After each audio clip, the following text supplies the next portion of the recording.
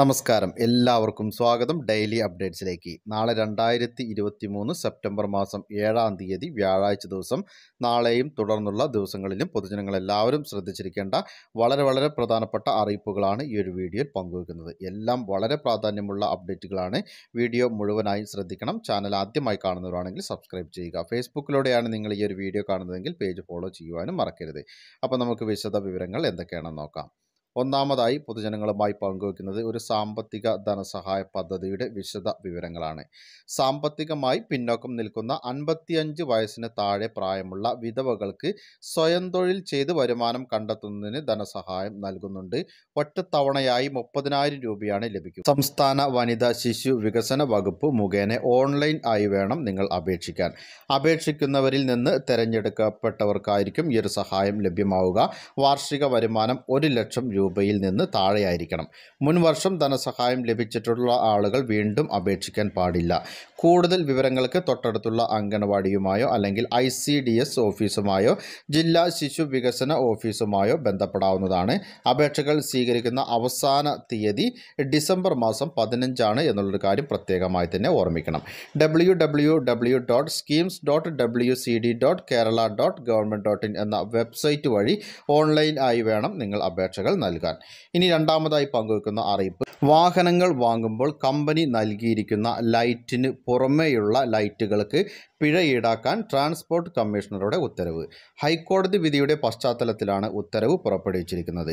വാഹനങ്ങളിൽ അനധികൃതമായി ബഹുവർണ L E D laser neon ലൈറ്റുകൾ ഫ്ലാഷ് ലൈറ്റുകൾ തുടങ്ങിയവ ഘടിപ്പിച്ചിട്ടുണ്ട് എങ്കിൽ ഉടമയിൽ നിന്ന് ഓരോ നിയമ ലംഘനത്തിനും അയ്യായിരം രൂപ വീതം പിഴ ഈടാക്കാൻ കഴിഞ്ഞ ഏപ്രിൽ പതിമൂന്നിന് ഹൈക്കോടതി നിർദ്ദേശിച്ചിരുന്നു. മോട്ടോർ വാഹന നിയമപ്രകാരമുള്ള ശിക്ഷാ നടപടികൾക്ക് പുറമെയാണ് ഓരോ രൂപമാറ്റത്തിനും ഈ ഒരു പിഴ ഈടാക്കേണ്ടതെന്നും ഇങ്ങനെ നിയമപരമല്ലാത്ത രീതിയിൽ രൂപമാറ്റം വരുത്തിയ വാഹനങ്ങൾക്ക് ഫിറ്റ്നസ് സർട്ടിഫിക്കറ്റ് നൽകാനാവില്ല എന്നും ഉത്തരവിൽ വ്യക്തമാക്കിയിട്ടുണ്ട്. ഇതിന്റെ അടിസ്ഥാനത്തിലാണ് ട്രാൻസ്പോർട്ട് കമ്മീഷണറുടെ പുതിയ ഉത്തരവ് വന്നിരിക്കുന്നത്. എതിരെ വരുന്ന വാഹനങ്ങളുടെ ഡ്രൈവർമാരുടെയും വഴി വഴിയാത്രക്കാരുടെയും ഉൾപ്പെടെ കണ്ണഞ്ചിപ്പിക്കാൻ ശേഷിയുള്ള ഇത്തരം ലൈറ്റുകൾ സുരക്ഷാ മാനദണ്ഡങ്ങൾ പരസ്യമായി ലംഘിക്കുന്നവയാണെന്നും ഉത്തരവിൽ പറയുന്നുണ്ട്. ഓരോ കുറ്റത്തിനുമാണ് അയ്യായിരം രൂപ ഈടാക്കുന്നത്. കൂടാതെ വാഹനത്തിന്റെ ഉയരം നീളം വീതി തുടങ്ങിയവയിൽ മാറ്റം വരുത്തുന്നതിനും പിഴ ഈടാക്കാമെന്നും മോട്ടോർ വാഹന വകുപ്പിന്റെ ഉത്തരവിൽ വ്യക്തമാക്കിയിട്ടുണ്ട്. പുതിയ ഉത്തരവ് പ്രകാരം മന്ത്രിമാർ ഉൾപ്പെടെയുള്ള വി ഐ പികൾക്കും പിടിവീഴും. നിലവിൽ മന്ത്രിമാർ എം എൽ എമാർ എം പിമാർ ഉയർന്ന ഉദ്യോഗസ്ഥർ ഇവരെല്ലാം തന്നെ എൽ ഇ ഡി ഫ്ലാഷ് ലൈറ്റുകൾ എന്നിവ വാഹനങ്ങളിൽ ഫിറ്റ് ചെയ്യുന്നുണ്ട്. മോട്ടോർ വാഹന വകുപ്പ് നിയമപ്രകാരം വാഹനങ്ങളുടെ മുൻവശത്ത് സൈഡുകളിൽ വെള്ളയും മഞ്ഞയും കലർന്ന ഇൻഡിക്കേറ്ററുകൾക്ക് മാത്രമാണ് അനുമതിയുള്ളത്. അല്ലാത്ത പക്ഷം നിയമ ലംഘനമായി കണ്ട് പിഴ ചുമത്താമെന്നാണ് നിർദ്ദേശം. ഇനി മൂന്നാമത്തെ അറിയിപ്പായി പങ്കുവയ്ക്കുന്നത് എസ് സി എസ് ടി വിഭാഗത്തിൽപ്പെട്ട പതിനെട്ടിനും അറുപതിനും ഇടയിൽ പ്രായമുള്ളവർക്ക് വായ്പ നൽകുന്നതിന് പട്ടികജാതി പട്ടികവർഗ വികസന കോർപ്പറേഷൻ അപേക്ഷ ക്ഷണിച്ചു. സ്വയം തൊഴിൽ വായ്പ പ്രവാസി പുനരധിവാസ വായ്പ വ്യക്തിഗത വായ്പ ഭവന വായ്പ വാഹന വായ്പ വിവാഹ വായ്പ വിദ്യാഭ്യാസ വായ്പ എന്നിവ ലഭ്യമാണ്. അപേക്ഷകരുടെ വാർഷിക വരുമാന പരിധി പതിനഞ്ച് ലക്ഷം രൂപയിൽ താഴെയായിരിക്കണം. കൂടുതൽ വിശദ വിവരങ്ങൾക്ക് ജില്ലാ പഞ്ചായത്ത് ഓഫീസിനടുത്ത് പ്രവർത്തിക്കുന്ന ജില്ലാ കാര്യാലയവുമായി ബന്ധപ്പെടാം.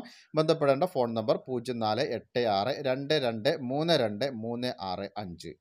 ഇനി അടുത്തതായി പങ്കുവയ്ക്കുന്ന മറ്റൊരു പ്രാധാന്യമുള്ള അറിയിപ്പ് സംസ്ഥാന സർക്കാരിന്റെ റേഷൻ കട വ്യാപാരികളോടുള്ള കടുത്ത അവഗണനയിൽ പ്രതിഷേധിച്ച് സെപ്റ്റംബർ മാസം പതിനൊന്നിന് സംസ്ഥാനത്തെ റേഷൻ വ്യാപാരികൾ കട അടച്ചിടുമെന്ന് Kerala state retail ration dealers association അറിയിച്ചു.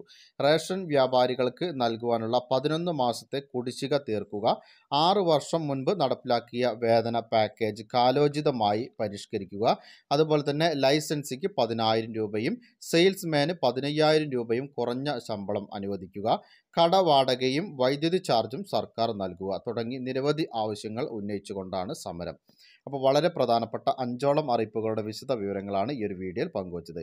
മറ്റുള്ളവരിലേക്ക് കൂടി ഒരു ഇൻഫർമേഷൻ ഒന്ന് ഷെയർ ചെയ്തെത്തിക്കണം. നിങ്ങളുടെ അഭിപ്രായങ്ങളും നിർദ്ദേശങ്ങളും കമന്റിലൂടെ എഴുതി അറിയിക്കുവാൻ മറക്കരുത്.